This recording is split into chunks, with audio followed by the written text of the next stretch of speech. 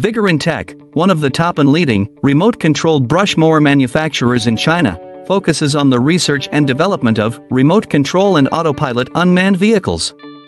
Remote control lawn mower is our current main product, widely used in lawn mowing and weed cutting, suitable for orchard, steep incline, front yard, wasteland, wildfire prevention, high grass and so on.